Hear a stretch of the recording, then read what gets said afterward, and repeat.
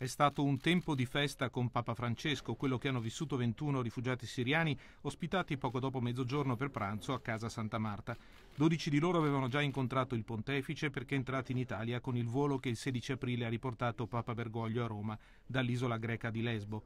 Gli altri nove sono entrati in Italia sempre grazie al corridoio umanitario organizzato dalla comunità di Sant'Egidio e sempre dal campo profughi di Lesbo il 16 giugno con le cinque famiglie di profughi siriani, tra i quali nove bambini e ragazzi, le tre persone che sperano di ricongiungersi ai loro cari e ai loro accompagnatori, Papa Francesco ha pregato all'inizio del pranzo. Per questa famiglia, ha detto, perché il Signore ci dia la pace nella nostra terra. Poi ha ascoltato le drammatiche storie dei profughi e il racconto dei primi mesi di vita in Italia. I bambini hanno regalato al Papa una raccolta dei loro disegni che raccontano la bellezza di avere una casa senza dimenticare gli orrori della guerra. Sono in salvo, ha scritto un bambino siriano su un disegno che raffigura la sua terra devastata dalla violenza, commuovendo il Papa.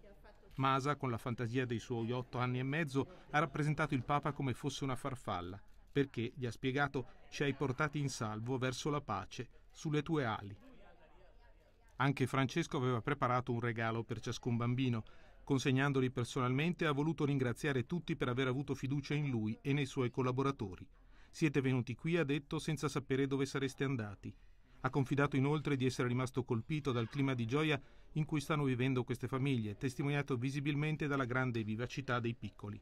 Ahmad, che ha un anno e mezzo, e Riyad, che di anni ne ha poco più di due, hanno fatto ridere più volte il Papa. Dopo più di un'ora e mezza insieme, il Papa ha ringraziato i suoi ospiti per questa visita e ha chiesto di pregare per lui.